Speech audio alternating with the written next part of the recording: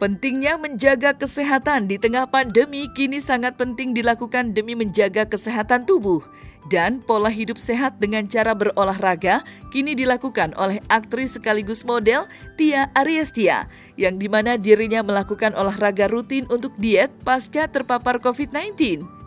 Seusai menjalani kegiatan olahraga, Tia Ariestia pun akhirnya menjelaskan alasan dirinya rutin melakukan olahraga yang bertujuan untuk mengembalikan kebugaran tubuh setelah terpapar virus COVID-19. Kemarin tuh aku berlima ya kena COVID. Aku sama dua anak aku balita, terus dua suster yang merawat anak aku juga ikutan COVID juga gitu. Jujur uh, setelah aku COVID, aku tuh COVID-nya benar-benar gejala ringan. Even penciuman perasa itu tetap ada. Jadi kayak benar-benar uh, alhamdulillahnya nggak ada batuk nggak ada pilek paling ada agak bindeng.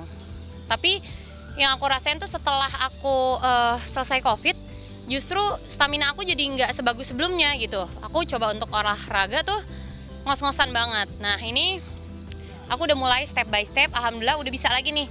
Ini olahraga ini nih kayak jump rope ini dia tuh kayak uh, bisa dibilang uh, satu setengah kali lebih cepet gitu dibandingkan lari gitu ya. Tapi kalau konsen kalau larinya panjang ya pasti akan lebih oke okay lari gitu.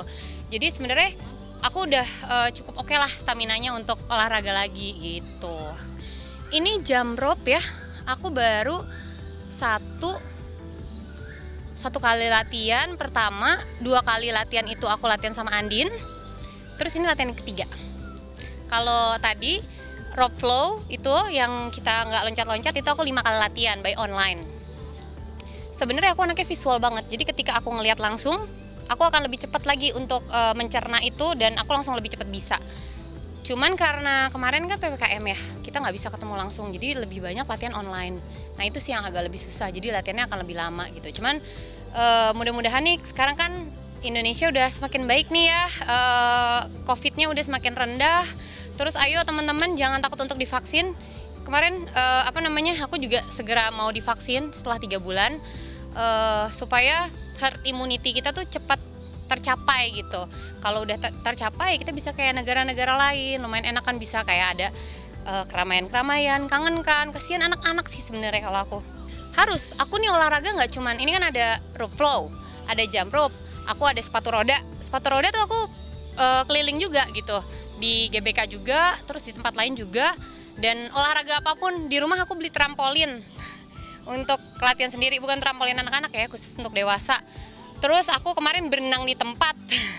Kalau bisa lihat ada di Instagram aku. Jadi karena nggak bisa berenang di kolam renang gede kan akhirnya aku berenang di tempat diikat pakai tali aku renang gitu. Jadi emang olahraga apa pun yang penting badan kita tetap sehat. Tapi jangan uh, over juga gitu. Jadi harus benar-benar pas sesuai sama kondisi tubuh kita. Ini untuk maintain saja karena kan memang uh, goals aku juga untuk nurunin berat badan sampai berat badan ideal supaya aku bisa bebas bergerak gitu. Mau gerak apa aja. Kalau pas aku zaman tekon uh, zaman berat aku obesitas mau taekwondo nggak bisa. Ngangkat satu kaki kaki sebelahnya nggak kuat gitu.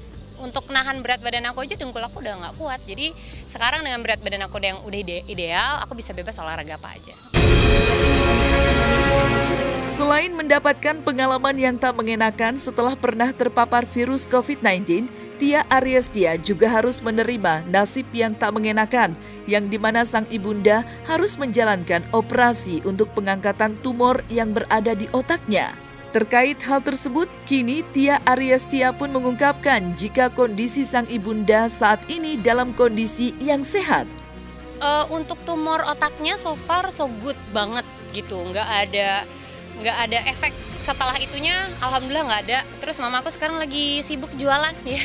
Dia lagi seneng jualan ini daun-daun ubi tumbuk daun singkong tumbuk. Sebenarnya idenya dari aku sih supaya mama aku tuh nggak ngerasa useless gitu. Jadi mamaku ngerasa eh dia bermanfaat nih. Eh kalau nggak ada gue jualannya gimana nih nih? Aku pengen aku pengen itunya aja gitu menjaga itu sudah mamaku sudah diangkat tumornya kepalanya dari sini di sini sampai sini dibuka masih ada kok videonya. Uh, ada di vlog aku kalau mau ngambil. Dibuka dari sini ke sini. Terus tumornya diambil pakai mikroskop pelan-pelan dipecahin diambil semuanya. Uh, ada tersisa sedikit karena dia nempel dengan apa ya? Apa gitu ada tersisa sedikit. Tapi pun kalau tumbuh pun butuh waktu sekitar 50 tahun ke depan. Jadi insya Allah udah cukup untuk usia mama aku gitu Uh, kemarin tuh memang sempet kita agak uh, khawatir banget karena mamaku tiba-tiba ngeluh penglihatannya tuh udah mulai hilang yang di sebelah kanan gitu. Uh, sebelumnya memang mama pernah kena tumor otak, tapi uh, jujur kecurigaannya antara antara mungkin itu efek dari tumor otaknya ada juga karena waktu itu pas mau operasi tumor otak emang udah mau kena syaraf mata mama kan. Tapi kan sebenarnya tumor otaknya udah diambil dan alhamdulillah tidak ganas gitu. Jadi seharusnya nggak apa-apa. Akhirnya kita periksa ke dokter mata alhamdulillahnya mama katarak gitu. Jadi uh, penglihatannya udah 20% kataraknya dioperasi ditambah lensa tambahan uh, alhamdulillah sekarang penglihatan mama 100% makasih atas doa-doanya dan supportnya juga. Di Instagram aku banyak banget yang doain. Kegiatan olahraga yang saat ini dilakukan oleh Tia Ariastia kini membuatnya tampak lebih bugar setelah dirinya sempat terpapar virus COVID-19 bersama anaknya. Dan sebagai penutup, Tia Ariestia pun membagikan tips cara untuk melakukan pola hidup sehat ala dirinya, yang di mana ibu dua orang anak itu lebih memilih untuk tidak makan sembarangan. Sebenarnya e, ngejaga pola hidup sehat itu seumur hidup kalau misalkan uh, aku udah dia turun 26 kilo kalau aku, aku rusak dengan makan aku yang sembarangan lagi ya pasti berat badan aku akan naik. Siapa pun yang uh, pola makannya tidak dijaga udah pasti berat badannya akan naik gitu. Nah intinya tinggal diimbangin sekarang olahraga terus udah gitu makanan juga boleh bebas tapi sesekali bisa clean eating gitu. Karena kan udah benar-benar tahu nih oh yang cocok pola hidup sehat untuk untuk kita tuh seperti apa jujur kita tuh sekarang hidup berdampingan dengan covid hati-hati iya menjalani prokes iya tapi kita harus tetap bisa bertahan untuk hidup gitu. Even kita harus jaga kesehatan pun kita harus bertahan untuk hidup.